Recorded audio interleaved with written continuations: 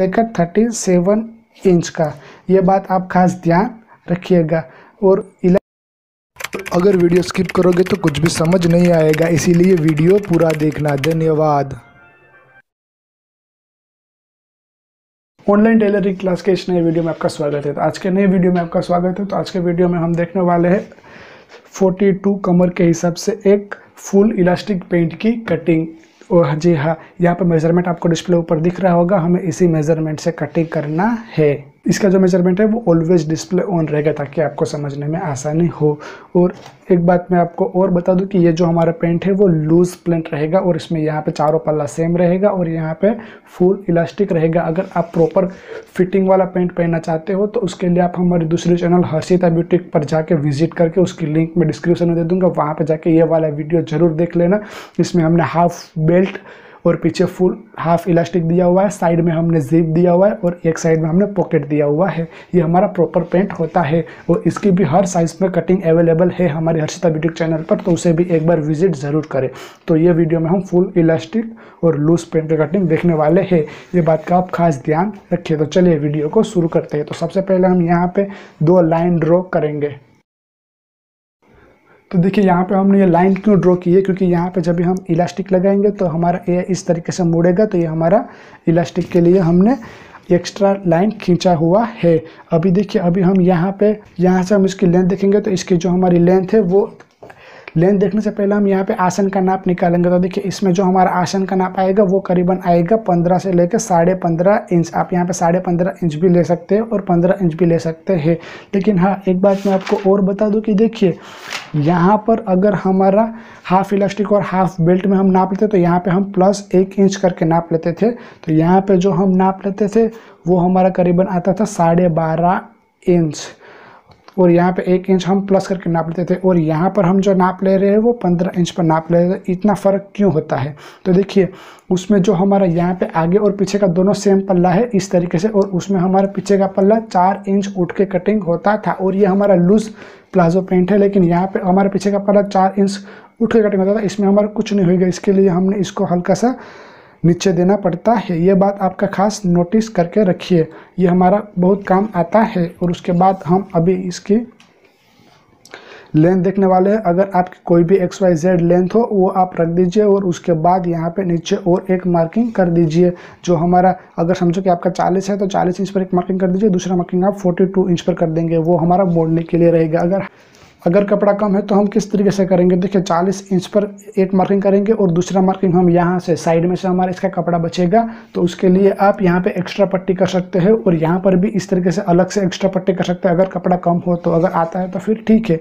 तो यहाँ पर हम ये लाइनों को मिला लेते हैं।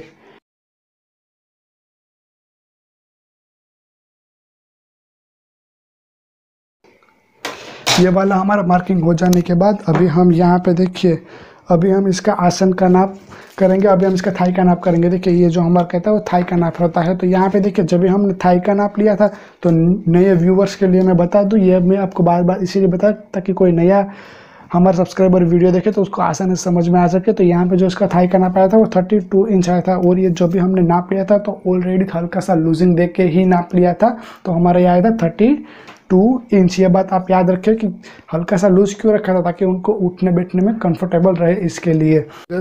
अगर वीडियो अच्छा लगा हो तो इसे एक लाइक ज़रूर करें और हम यहाँ से आप हमारे चैनल को सब्सक्राइब भी कर सकते हैं और साथ में बेल आइकन भी दबाएँ ताकि आने वाले वीडियो की नोटिफिकेशन आपको मिलती रहे। एक लाइक ज़रूर। तो देखिए 32 इंच आता है तो आगे पीछे का हमारा पल्ला है तो यहाँ पे हम इसको दो के साथ डिवाइड करेंगे। तो 32 को हम दो के साथ डिवाइड करेंगे तो ये हमारा आगे करीबन 16 इंच तो एक मार्किंग हम यहाँ पे इस तरीके से 16 इंच पर लगा देंगे और दूसरा मार्किंग हम अंदर की तरफ़ दो इंच पर लगा देंगे इस तरीके से। और यहाँ से हम इसको नापेंगे। तो ये हमारा आता है चौदह इंच। तो यहाँ पर हम इस तरीके से चौदह इंच पर एक मार्किंग कर देंगे। ये वाला हमारा इतना मार्किंग हो जाने के बाद अभी सबसे पहले हम इसकी मोहरी देखेंगे। तो इसकी यहाँ पे मोहरी है वो वो है पंद्रह इंच। तो देखिए यहाँ पे पंद्रह इंच है तो यहाँ पर भी आधा होता है हमारा साढ़े सात इंच। तो एक मार्किंग हम साढ़े सात इंच पर करेंगे। फिर एक हम फुट्टा लेंगे, फुट्टे की मदद से। ये वाली लाइन को, ये वाली लाइन से इस तरीके से मिला देंगे और उसके बाद हम यहाँ से गोलाई में शेप देंगे। और ये हमारी शेप देने के बाद, अभी देखिए, ये जो हम, ये शेप पट्टी की मदद से इसको यहाँ पे इस तरीके से शेप देंगे। और ये वाली शेप देने के बाद इसको हल्का सा स्ट्रेट ना रखते हुए हल्का सा इस तरीके से क्रॉस में हम और एक शेप देंगे। ये शेप हम क्यों देते हैं ताकि कपड़ा हम इस तरीके से मोड़ेंगे? तो ये हमारा बरोबर बैठे इसके लिए इस तरफ़ ऊपर की तरफ़ हम शेप देंगे। तो ये तो हमारा हो गया अभी बरोबर। अभी हम इसे मैं आपको थोड़ा सा समझा दूँ कि इसको कटिंग किस तरीके से करना है। पहले वो दे, बता देता हूँ फिर इसका कमर का मार्किंग आपको बताता हूँ। तो देखिए यहाँ पे इस तरीके से।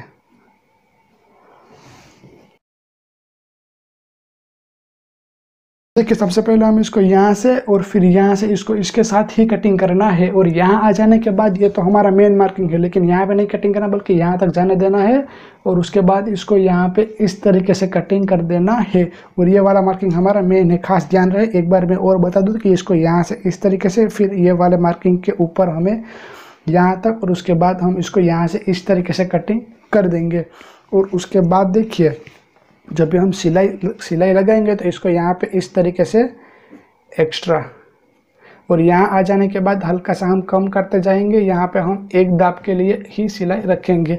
इस तरीके से हमें सिलाई रखनी है। आपके कोई भी अब जब भी सिलाई लग, सिलाई लगाओगे तो यहाँ पे थोड़ा सा ज़्यादा और यहाँ आ जाने के बाद हमें कम करते जाना है। ये बात आप खास ध्यान रखें।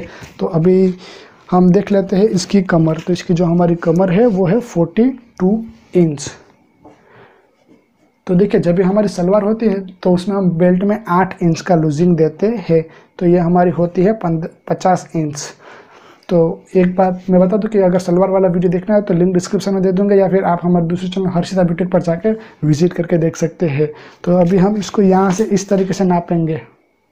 तो ये हमारा करीबन हो रहा है, हो रहा है तेरह इंच।